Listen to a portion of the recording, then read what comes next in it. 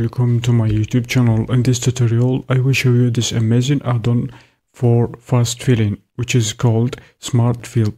So this add-on extends the functionality of Blender's native fill command default mapped to the F key by adding context-sensitive operations all on the F key. The functions that can be reached through the F key they are make edge face, grid fill, fill, bridge edge loops. So let's get started to show.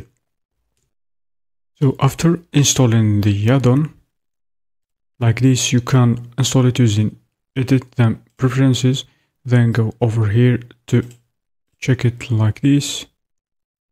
And as you can see here, you have preferences. You can show properties dialog and reset and anything you want if you want to check them then have make face edge. And you can click over here to see which shortcut is using this add-on using F key. So let's check it to activate it. So let's move on to show you. We have the shape over there. I want to select all those uh, vertices surrounding this gap surrounding this hole as shown here. Hitting F is going to feel like this. It doesn't feel as as we mentioned as we noticed in blender. Hitting F is going to feel just without adding this smart fill is going to feel and to save a lot of time. For example let's try if we delete for example this face like this hit X to delete faces and let's see uh, what will happen when we try to fill like this? Hit F then so I'm going to select all those vertices surrounding the dated faces. Shift so let's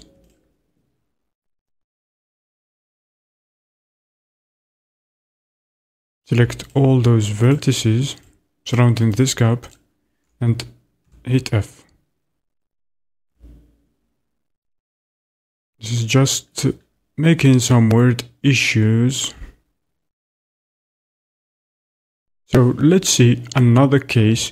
If we are, in this case, for example, as shown here, I'm going to select all,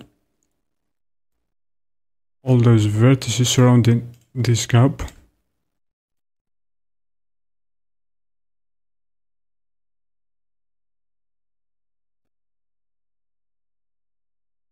After selecting all those vertices surrounding this gap so let's see how how that feature can fill it.